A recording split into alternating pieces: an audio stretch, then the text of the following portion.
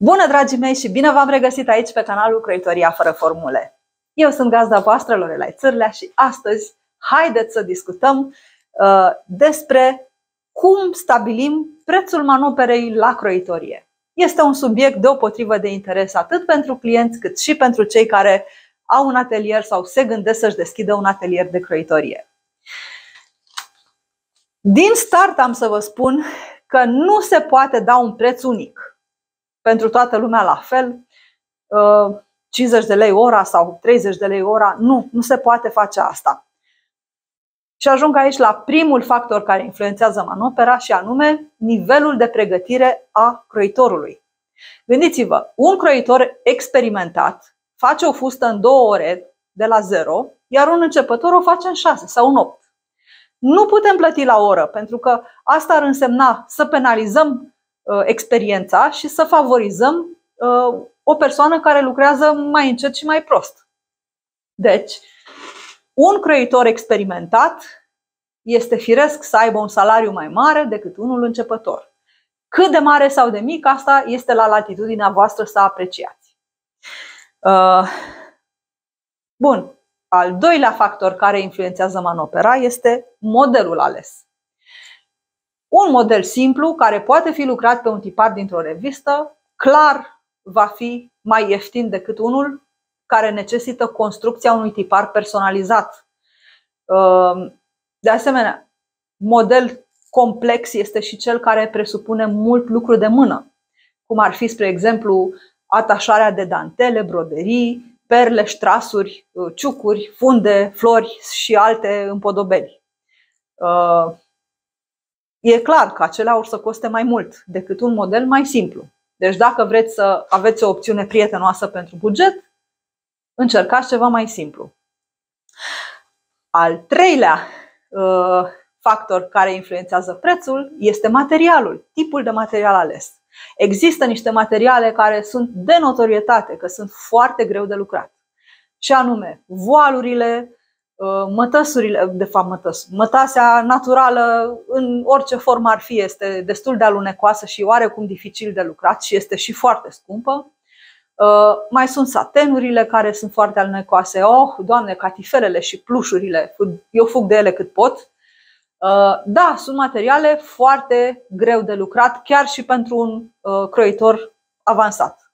O să ia mai mult timp, o să se enerveze, costă mai mult și este normal să fie așa. Plus că dacă faceți o ținută pentru o purtare unică, spre exemplu o rochie pentru o nuntă, chiar oare chiar merită să investiți câteva mii de lei pentru mătase naturală când aveți o opțiune din material sintetic care arată aproape la fel? Vă las pe voi să vă răspundeți la asta, dar oricum, materialul, tipul materialului și uh, felul în care materialul se comportă la cusut va influența direct prețul manoperei. Uh, un alt factor care contribuie la creșterea sau scăderea prețului este timpul.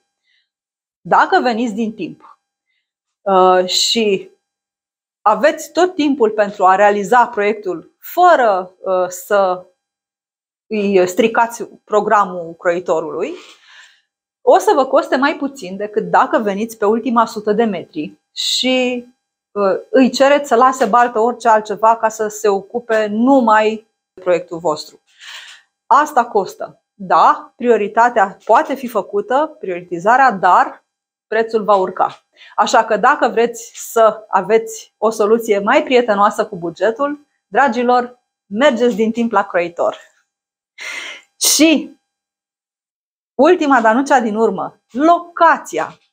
Location, location, location. Un atelier de croitorie costă mai mult decât o persoană care lucrează acasă. De asemenea, un atelier într-o zonă bună, clar, va plăti o chirie mai mare, ceea ce se va reflecta în prețul manoperei, pentru că nu are cum altfel. Deci, un atelier într-o zonă privilegiată, o zonă luxoasă, clar va avea manopere mai mari. Și ăsta este un foarte bun indiciu. Nu aveți 100% garanție, dar este un bun indiciu asupra gamei de prețuri în care vă puteți încadra. Bun. Care sunt cheile succesului dacă vreți totuși să vă realizați o ținută extraordinară, personalizată, făcută la croitor și care să nici nu vă coste o mână și un picior? Păi este foarte simplu. Uh, alegeți un model simplu, nu cereți finisaje uh, care se lucrează manual, cum ar fi aplicația de broderii TIV cu sus manual, nasturi cu sus manual, și veniți din timp. Uh, ok. Bun. Croitoria la comandă uh, este totuși un serviciu de lux și e firesc să coste mai mult decât fast fashion sau uh, croitoria de serie, uh, ceea ce luați din magazin de pe umeraș. Însă, dacă vreți să găsiți o cale de mijloc, aveți desigur posibilitatea de a vă cumpăra o ținută din magazin pe care să o duceți la croitor, fie la retușat, fie la personalizat. Oricum o să vă coste mai puțin decât dacă o faceți uh, de la zero uh, la acel croitor, spre exemplu. Asta este iarăși o variantă prietenoasă cu bugetul și pe care majoritatea croitorilor și ei o agrează pentru că uh, este o soluție bună pentru toată lumea. Ei, dragilor, asta a fost povestea de astăzi. Sper că v-au plăcut cei 5 factori care uh, influențează prețul manoperei. Dacă vreți să-i uh, recapitulăm, nivelul de pregătire al creatorului, modelul ales, materialul ales, timpul și locația. Aceștia sunt. V-am oferit și câteva soluții de a uh, optimiza bugetul, astfel încât data viitoare voi să fiți mult mai uh, informați și mai pregătiți în momentul în care aveți nevoie de o ținută realizată la croitor.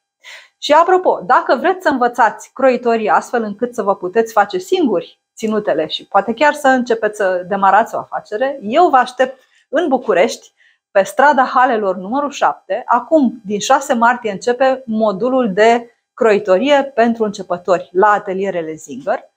Dacă vreți să vă înscrieți, Intrați pe zinger-shop.eu la secțiunea ateliere și uh, acolo puteți să vă rezervați uh, locul.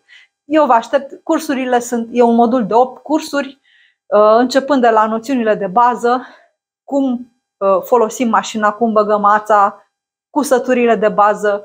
Avem un curs special pentru fermoare de toate tipurile uh, și, desigur, noțiuni de bază despre tipare și despre Uh, ce înseamnă să croim. Așa că, dragii mei, eu vă aștept și acolo. Nu uitați, aici, pentru zei YouTube-ului, dați like, share și abonați-vă gratuit la acest canal. Eu încarc aici un videoclip pentru voi în fiecare joi și duminică în jurul orei 7 seara. După cum probabil ați observat, încerc să mă țin de promisiunea făcută în titlu, adică fără formule complicate, pentru că după părerea mea, croitoria este pentru toată lumea, nu e o știință spațială, oricine poate croi. Dragii mei, vă mulțumesc că ați fost alături de mine și până data viitoare, eu vă urez tuturor, ca de obicei, mult spor la cusut. La revedere!